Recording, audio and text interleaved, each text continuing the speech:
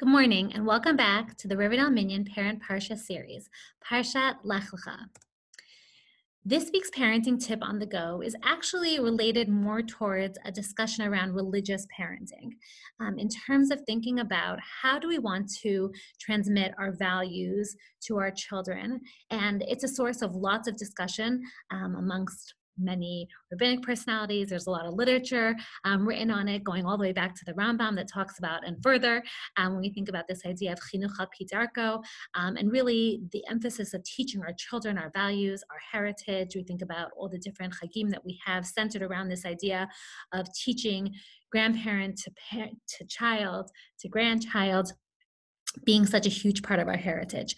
But what does it mean to really, um, I think it can mean lots of things, but when I think about this idea of trying to um, teach religious values, one thing that I always harken back to um, in my experience um, goes back to um, somebody by the name of Rabbi David Aaron. Um, before Oraita, the yeshiva Oraita existed as Oraita, Rabbi David Aaron and Rabbi Benny Friedman had a program called Isralight.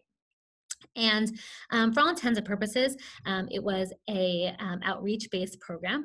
Um, but one of the things that was a fundamental part of their program because they would take people um, from different seminaries and yeshivot, or they advertised it as a summer program um, where you could come and uh, basically learn their approach to be part of um, their community of um, people who would engage in other in, in a specific type of outreach. Um, but it was outreach from the perspective of not that I have the knowledge um, and I'm imparting it to you, but more from an exchange of values and discussion. But one of his basic principles principles, um, he's written a series of books on these, um, was based on the idea that as religious Jews, and I think there's a lot of truth to this. Um, we talk a lot about um, Torah, we talk a lot about mitzvah, we talk a lot about the things that we believe in in terms of um, how to behave, how to act. Um, but one thing that he points out that people don't talk uh, particularly a lot about is belief and love of Hashem. The idea of God, the idea of Hashem, is something that's actually um, surprisingly absent from our regular language. And as a result of that, he thinks that more often than not, our concept of God remains at a very rudimentary um, childlike stage. This idea that Hashem is here, Hashem is there, Hashem is everywhere. He tells a very um, funny, cute story about a boy who did something wrong and he ran away to the bathroom. he slammed the door, and his parent was like, What are you doing in there? And he's like, Hashem can't get me in the bathroom. Um, but if we think about it, like, it's a really an important question. Is our relationship with Hashem um, evolved in a meaningful way past that concept? And if it hasn't evolved, um, it does that make it challenging to talk about a relationship with Hashem belief in Hashem, um, belief in Hashem when things are hard. How do we engage in Torah mitzvot? What happens when hard things happen to us and it and it makes us question our belief um, in Hashem and how does that connect to this idea of love of Hashem? What is love of Hashem? Um, to really be able to have this on our fingertips as a parent and to be comfortable enough to engage our children with these issues. One thing that I think dovetails into this um, and connects very prominently with this week's parsha, Parsha Lech Lecha and Abraham, um, is a interesting psychological discussion when we look at um, internalized versus externalized religious behaviors.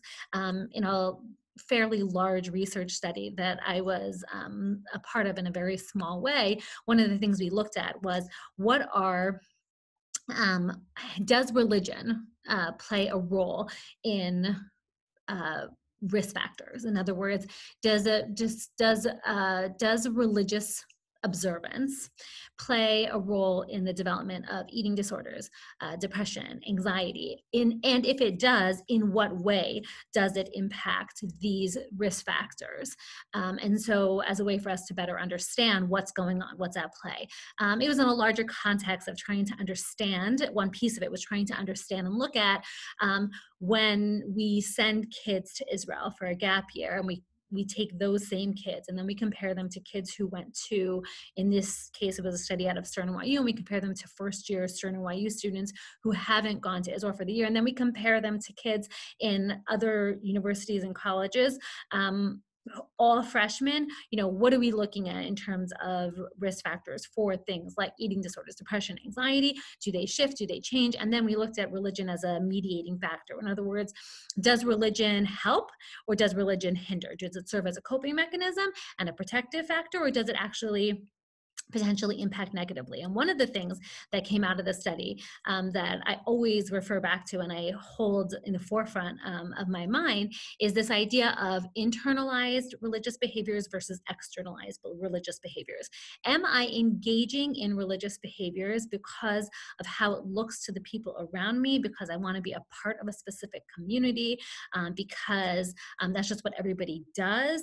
Um, is it about an externalized reality or is it based on an internalized reality in terms of this is connected to a deep sense of my religious belief about who I am. One of the things we do know is that internalized um, religion in other words, children, adolescents, adults who have an internalized sense of religion, religion serves as a coping mechanism for them. But oftentimes, when religion is an externalized um, value. In other words, it's not necessarily part of who they are as a person, but it's much more about um, kind of like the external manifestation, then that actually could serve um, in a negative way.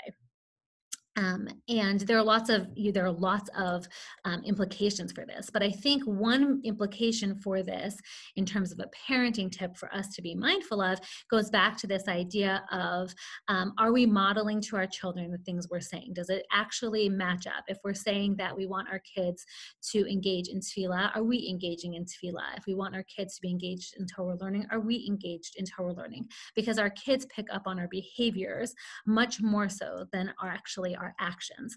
Um, and I think that that research shows across the board in lots of different things, but this is one particular area that we see it in.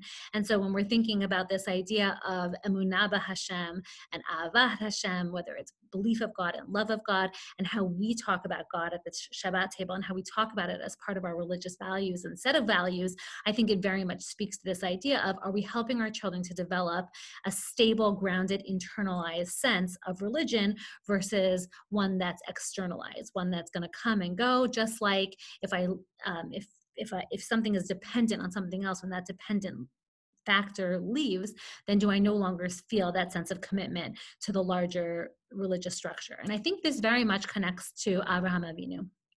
Um, one of the books that I really love because it's um, really small um, is this book by Rachamim Melamed HaKohen. It's all about Parshat HaShavua and it's specifically geared towards values that we can take and teach to our children. Um, and he picks up and points out for this week's Parsha the idea that specifically in this context, Abraham, when um, when the war between the kings is going on, and Lot has been taken as a captive, and the uh, fugitive, who many say is Og, Melech Bashan, or just Og, who is a survivor from the flood, who is a giant, and there's lots written on who this is, who this fugitive is, and why what it has to do with og and if it is og but the next piece also has a lot of lot of uh, discussion on Abraham Ha'ivri. Why does it say Abraham Ha'ivri? Abraham's been referred to lots of different places. Um, so um, Rachamim Melamed HaKohen picks up from the Breishi Rabbah, but the Haktav Kabbalah also um, picks up from the Breishi Rabbah and points out that there are lots of different reasons. There are specifically three different reasons why it might be referencing to Abraham Ha'ivri, but the third one that he mentions I think is the most important. It says v'dat shlishit kohalam kulom ever achad ever achad. In other words, the entire world existed basically on one side of the world, and he stood on the other side of the world. He was from a different place. Um, ever, ever ha'ivri is also a place. Ever um, kishem ever yishamesh gam al shnei hafachim hamitzmim b'devar shlishi kagon shnei ba'alei dinim hamitzamtzim b'din. And he makes a reference in in the Ketava Kabbalah, basically describing it as like two different judges just standing on different different pers- places and giving different options. Um, and specifically, um, if you kind of go through, that Abraham really stood in contradistinction to the rest of the generation in terms of his belief in Hashem. Um, and the fact that all the midrashim, that's one of the things that they emphasize, is that Abraham stood steadfast in his belief in Hashem. And this idea that, like, one of the things that's a real protective value, protective value um, in terms of the fact that we live in a world with lots of different values and lots of different messages. And one of the things I think that troubles parents is how do I impart those values to my kids? And Melamed HaKohen Rachamim Melamed suggests that part of the ways in which we impart those values um, is by, first of all, living them and showing them to our children. And the other piece of it also has to do with the fact that we create a real foundation of Emunah Hashem, and that's what enabled Moshe, um, Abraham and Moshe, but Abraham specifically to be able to be this person that people knew he existed. And I think like that's a question you could start to talk about. Well, what's the difference between Abraham and Noah at the table? Um, again, you could bring this up and bring this down. This is a pretty sophisticated idea, so I think that there's some ideas to be able to kind of um, tease it out as it relates to kids. Um, you know, you could talk about how how was Abraham able to be a believer surrounded by idols? Um, that's a real part of Abraham's story. That's why that midrash has so much weight, right? Because one of the things that stands out is Abraham's ability to not just be the Noah who ran away to, set, to sit on a teva, but he was really amongst the people. The people knew he existed, the people knew he was there, but they also knew that he was somebody who was different than them. He had a different belief in them, and he wasn't um, rocked by the fact that there were people around him who didn't necessarily share the same belief in um, that he did. Um, and I think starting to have a discussion about the fact that it's hard to do things that necessarily we don't believe in. It's hard to stay strong to our Torah values um, or to things that are important to us. It doesn't only have to be about Torah values. It could be about social values. It could be about standing up. It could be about um, when we see somebody doing something that we don't necessarily agree with, how do we stay strong to our values? Um, and I think that all these um, can be a real rich discussion that it, you know, expands beyond necessarily exactly about Abraham and Parshat Lech Lecha, but more about um, engaging in the world in a way um, that stands strong to our values um, from a humanity perspective that's rooted in Torah values, and that's really what Abraham stood for on to the fun stuff of Parsha treats. Um, so I think that um, that the you know I was talking about it with um, I mentioned I mentioned earlier um, that I was about by it um, during my college and post college years at Tina Michael Samter, um, and she has been doing this for years and years before. So I was talking with her.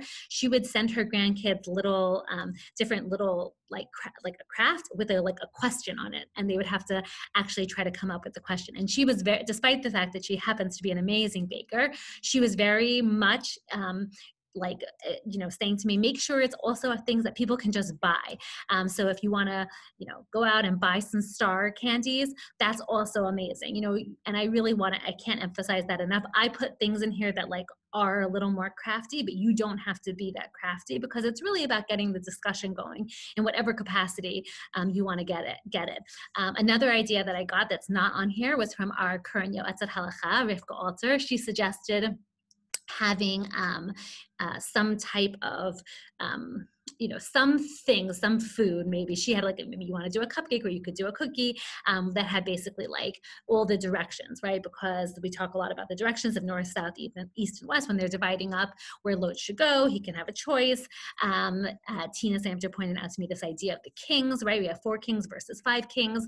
Um, you could make and decorate the table with kings um, with like crowns um, just with like foil um, and decorate them differently depending on on on what you have going on um, I also love the idea of just getting involved in transportation for little kids, right? So it doesn't necessarily have to be accurate. So I had like fruit that was in the shape of a car, or the bears that were sitting on like Snicker bars that were in the shape of a car. Really, just trying to start to get kids thinking about all the different ways that people um, go about moving from place to place. And then I love the little suitcases, thinking about what Abraham needed to take with him. That also could be an interesting discussion. If you had to leave your home, your leave leave somewhere, what would you take with you? That's always a good, um, you know, conversation start if you were on an island what would you take with you um, um, and um, the idea of camels how many camels do you think you would have with you? Do you think it would be fun to ride a camel? I think there's lots of places um, to go with it. Obviously feet are for lech lecha i love these stars. I think they're so easy and so fun and like it's just an easy Rice Krispie treat. It's not particularly